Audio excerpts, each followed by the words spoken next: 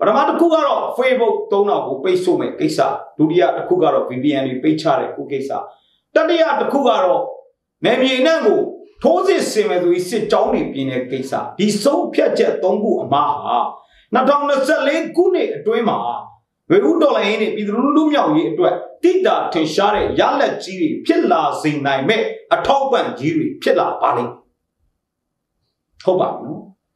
ကျွန်တော်ပြောတာမယုံရင်စောက်ကြည့် အားလုံးပဲမင်္ဂလာပါဒီကနေ့မှာတော့စစ်ကောင်စီဘက်က VPN နဲ့ပတ်သက်ပြီး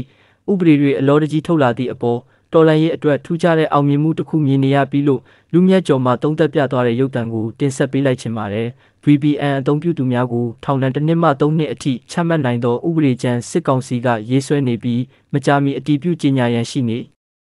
အကြမ်းဖက်စစ်ကောင်စီက VPN အသုံးပြုသူများကိုဖမ်းဆီးပြီးထောင်ဒဏ်တစ်နှစ်မှသုံးနှစ်အထိချမှတ်နိုင်သောဥပဒေကြမ်းကိုရေးဆွဲလျက်ရှိပြီးမကြာမီအတည်ပြုကြေညာရန်ရှိနေကြောင်းအကြမ်းဖက်စစ်ကောင်စီက VPN များကိုအသုံးမပြုနိုင်ရန်စက်ကျူဝါကိတ်ဝေးဖြင့်ပိတ်ပင်လိုက်ကြောင်းတို့ရာတွင် VPN များအားလုံးကိုမပိတ်နိုင်ဘဲပြည်သူများက Facebook ကိုဆက်လက်အသုံးပြုနေကြောင်းထို့ကြောင့်စစ်ကောင်စီကစိုက်ပါလုံခြုံရေးဥပဒေကြမ်းကိုရေးဆွဲပြီး VPN များအသုံးပြုလျင်ထောင်ဒဏ်ချမှတ်နိုင်သောဥပဒေကိုမကြာမီအတည်ပြုကြေညာရန်ရှိနေကြောင်းမြမဆက်သွယ်ရေးလုပ်ငန်းတရင်ရင်းမြစ်ကပြောဆိုထားတာပါဒါနဲ့ပတ်သက်ပြီးလူမြတ်ကျော်ရဲ့တုံးသက်ချက်ကိုနားဆင်ဝေဖန်ကြည့်လိုက်ရအောင်ဗျာဇွန်လ10ရက်နေ့2024ခုနှစ်လူမြတ်ကျော်ရဲ့ညာခင်းပိုင်းတင်ဆက်မှုကကြိုးဆိုပါရယ်ဒီလိုစကားပြောနေတာတွေကို မတွေ့ရတော့ဘဲ Facebook ပြီး Facebook ကြီးသုံးမရတော့ခဲ့ချင်းဟိုတနေ့ကတော့မဖြစ်ဘူးကျော်သိန်းကဖြူဖြူကို Facebook ပေါ်မှာမတွေ့ရတော့ရင်ဆိုပြီး Telegram link ကြီးချလာတာတွေ့ရပါတယ်အဲ့တော့ကျွန်တော်အနေနဲ့ကတော့ Facebook တွေသုံးလို့မရတော့တော့အောင်ဖြစ်လာခဲ့ရင်လူမြတ်ကျော်ကတော့ YouTube မှာရှိပါတယ်လို့ပထမဦးစွာပြောပြရစီဒီလိုပြောရင်းနဲ့ဖတ်စစ်တက်ဟာတိုင်းပြည်လုံးအမှောင်ချမဲ့လောက်ရက်ကို နောက်တစ်ဆင့်တက်လှုပ်ဆောင်လာပြီဆိုတဲ့အကြောင်း လူလူကိုအသိပေးပြရလေဖတ်စစ်အချောက်တက်ဟာပန်းပန်လဲကြောက်အိမ်ထဲမှာနေလဲကြောက်လက်သုံးချောင်းထောင်လဲကြောက်တန်မုံတီးလဲကြောက်အကြောက်တရားတွေကြီးစိုးနေတဲ့ဖတ်စစ်တက်ဟာဒီတခါထပ်ပြီး Facebook ဆိုတဲ့ social စာမျက်နှာတစ်ခုကိုကြောက်လွန်းလို့ပိတ်ချဖို့လုပ်နေပါတယ်ပိတ်ချဖို့လုပ်နေတဲ့အခါကျတော့ Facebook ကိုသူသွားပိတ်လို့မရတဲ့အခါကျတော့ Facebook တုံးလို့မရအောင်မိလန်းပေါင်းစုံနဲ့လုပ်တဲ့အဲမှာပါ VPN ဆိုတဲ့ software ကိုပိတ်ချလိုက်ပြီ Facebook တုံးလို့မရအောင်ဆောင်ရွက်ပါတယ်အဲ့တော့21ရာစုကဘာကြီးက IT နီးပညာ AI နီးပညာနဲ့လဲပတ်နေတာကိုမသိမသိတဲ့နလဘိန်းတို့မင်းအောင်လိုင်ဟာ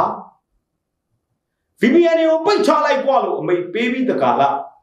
နောက်နေ့မှာလဲပြည်သူလူထုက Facebook ကြီးဆက်သုံးနေတော့ငွေဆိုတဲ့အခါကြတော့အခုဖုန်းထဲမှာ VPN ရှိရင်ထောင်တစ်နှစ်ကနေ3နှစ်တိချမယ်ဆိုတဲ့မတရားဥပဒေတစ်ခုကိုပြဋ္ဌာန်းဖို့ပြင်ဆင်နေပါတယ်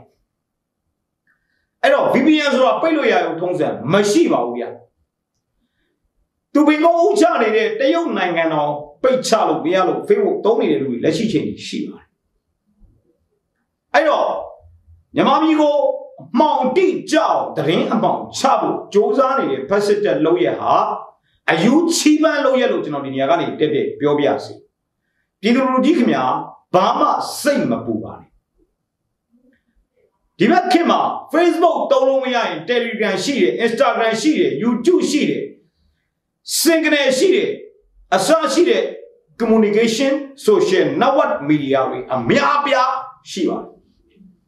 တော်လိုင်းမျက်နှာစာဟာတနေရာမှာမဟုတ်တနေရာမှာကျွန်တော်တို့ရှိနေကြပါဟုတ်ပါပြီနော်အဲ့တော့ဒါပေမဲ့ Facebook ဆိုတာကကြတော့ဗမာပြည်ရဲ့လူဦးရေသုံးပုံနှစ်ပုံနီးပါအသုံးပြုတဲ့ social စာမျက်နှာကြီးဖြစ်တဲ့အခါကျတော့ဗမာပြည်ရဲ့လူမှုစီးပွားအခြေအနေတွေအင်မတန်ထိခိုက်သွားစရာရှိပါတယ် TikTok Facebook Instagram အပါအဝင်ပေါ့နော် မြောင်များလာစွာသောဒီ social စာမျက်နှာထက်က SME ဆိုတဲ့အယောင်လုပ်ငန်းတွေကနေရရှိတဲ့ဝင်ငွေဟာလေပတ်နေတဲ့ဝင်ငွေဟာဗမာငွေတန်းပေါင်း2000ကျော်3000နီးပါးလောက်ရှိတယ်လို့စက်တမ်းများရသိရတယ်တကယ်လို့သာဒီ social tax ဆိုတဲ့အခွန်ငွေပေါ့နော်အစိုးရတရက်က PPC လုံးလိုက်တန်ပေါင်း2000 250လောက်အခွန်ငွေရရှိနိုင်တယ်လို့ စစ်တမ်းတစ်ခုကပြောတာပါတယ်ဘယ်စစ်တမ်းလဲဆိုတော့ကျွန်တော်ပြောပြစကားရှေ့မှာဆိုအဲ့တော့ဖတ်စစ်တမ်းအနေနဲ့ကတော့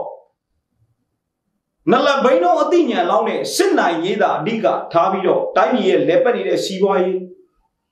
တိုင်းပြည်ရဲ့လက်ပတ်နေတဲ့စီးပွားရေးကုန်စည်နှုန်းအစရှိတဲ့ဟာတွေကိုတနက်နဲ့အာနာနဲ့ထိန်းချုပ်လို့ရမယ်လို့ထင်ရောင်ထင်ပါဖြစ်နေရှာပါတယ်စိတ်မပူပါနဲ့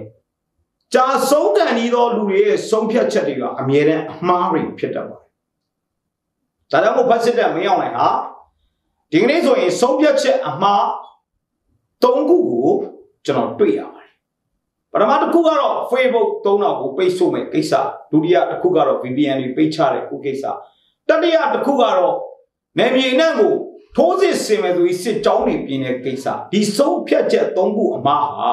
2024ခုနှစ်အတွင်းမှာဝေဥဒေါ်လာရင်းနဲ့ပြည်သူလူထုမြောက်ရေးအတွက်တိတာထင်ရှားတဲ့ရလက်ကြီးတွေဖြစ်လာစေနိုင်မဲ့အထောက်ပံ့ကြီးတွေဖြစ်လာပါလိမ့်ဟုတ်ပါဘူးနော်ကျွန်တော်ပြောတာမယုံရင်စောက်ကြည့်နော်နောက်တစ်ခုကကျွန်တော်ဒီနေ့ဗီဒီယိုဖိုင်လေးတစ်ခုတွေ့လိုက်ရတယ်ကြက်သားစေးတပိတ်သားကိုတောင်းသုံးတော့ ဝတ်သားသေးတပိတ်တော်ကိုတောင်းသုံးတော်ရောင်းချကြရန်ဆိုပြီးတော့အမိတ်ထုတ်တယ်ဗျာစီပင်တယောက်ကអော်နေတာအဲ့ဗီဒီယိုကလစ်ကိုကျွန်တော်ဟိုဘက် LMK review channel မှာကြည့်မှာဖြစ်ပါတယ်ဆိုတော့စီးပွားရေးစနစ်ကမ္ဘာလုံးဆိုင်ရာစီးပွားရေးစနစ်တနိုင်ငံနဲ့တနိုင်ငံကူလူဆက်ဆံနေတဲ့စီးပွားရေးစနစ်ကိုလော်စပီကာနဲ့អော်ပြီးတော့ဈေးနှုန်းတက်မှတ်လို့ရသလားလို့မရောက်နိုင်ဖက်စစ်တဲ့ရဲ့စီမံခန့်ခွဲနေတော့နလဘိန်းလုံးများကိုဒီနေရာကနေမေးလိုက်ရှင်ပါသေးတယ် ပြည်သူလူထုကလည်းဗပောင်းဆောင်ကဖိနေမွန်းကျက်နေရတဲ့ဂျားထဲမှာလဲတော်လည်းကြီးကိုအဆက်မပြတ်ထောက်ခံကူညီနေတုံးဆိုတာလဲကျွန်တော်တွေ့ရတယ်အဲ့တော့ဒီနေ့လာဘိန်းလုံးတတိုက်နဲ့တိုင်းပြက်ပြည်ပြက်တတိုက်ကိုကျွန်တော်တို့ချေမုံရေးအမြင့်ဖြတ်ရေးဒါတွေကတော့ခဏခဏပြောနေလို့ကျွန်တော်တို့မပြောတော့ဘူးဒါကြောင့်မို့ကျွန်တော်ကနောက်ရက်တွေမှာဆိုရင် မင်းရန် Facebook ကိုပိတ်ချင်တယ်မလားပိတ်လိုက်ပါ VPN ပိတ်လိုက်ပါဒါပေမဲ့ VPN ဆိုတာပိတ်လို့ရရုံထုံးစံမရှိဘူးအဲ့ဒါကြောင့်မလို့ဖတ်စစ်တပ်ဟာ VPN သုံးရင် VPN ဖုန်းထဲမှာတွေ့ရင်ထောင်တစ်နှစ်ကနေ3နှစ်ထိချမယ်ဆိုတဲ့ဆက်သွယ်ရေးဥပဒေဆိုပြီးတော့မတရားဥပဒေတစ်ခုကိုပြဋ္ဌာန်းဖို့မကြခင်ထွက်လာလို့ရှိပါတယ်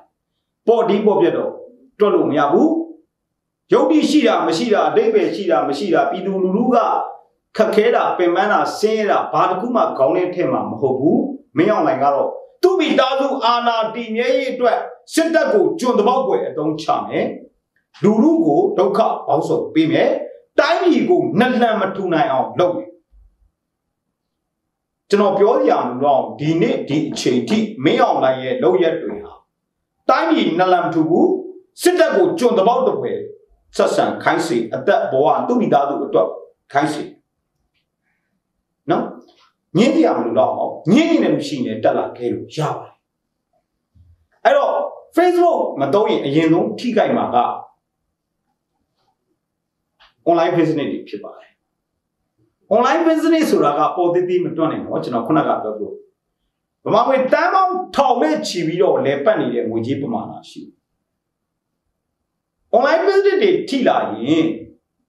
ဆက်ဆက်ဆက်ဆက်လုပ်ငန်းတွေထိလာရင်တိုင်းပြည်စီးပွားရေးကတိတက်ထိုးကျလာဖို့ပဲရှိပါတယ်ဆိုတော့ချုပ်ပြောရရင်မဟာလာဟာတိုင်းပြည်ဖြတ်နေတာဖြစ်ပါတယ်တိုင်းပြည်ဖြတ်နေတာဖြစ်ပါတယ်အဲ့တော့တိုင်းပြည်ဖြတ်နေတဲ့မဟာလာကိုကျွန်တော်တို့ကမြန်မာပြည်ရဲ့ထွက်ရလမ်းဟာစစ်တပ်ကိုမြန်မာပြည်ပေါ်ကအပီးပိုင်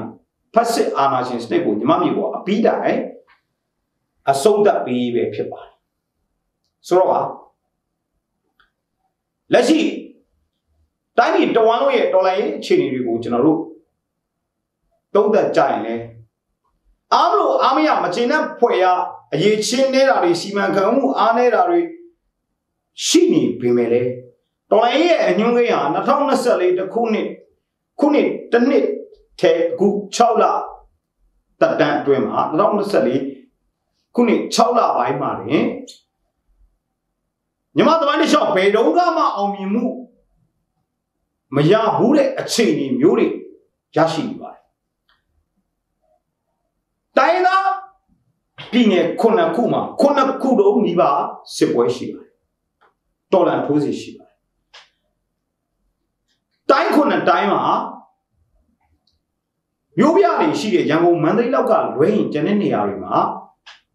စစ်ပွဲတွေရှိတယ်မြို့ပြတွေမှာလည်းတိုက်ခိုက်မှုတွေရှိတယ်ပျောက်ကြားတိုက်ခိုက်မှုတွေရှိတယ်ဆိုတော့တိုင်းသားတော်လိုင်းရေး EAO တွေကို PDF အပါဝင်တော်လိုင်းအင်အားစုတွေကတော့ရွေးစရာလမ်းကတစ်ခုပဲရှိတဲ့အတွက်ရွေးချယ်ပြီးသွားပြီအောင်ပွဲရအောင်ဆက်လက်ချီတက်နေတယ် နီးမျိုးစုံပိတ်ဆို့နေတဲ့ဂျားကပြည်သူလူထုဟာလည်းဒီကနေ့အထိကြံ့ကြံ့ခံရက်တည်အဲ့တော့ဒီအောင်ပွဲမှ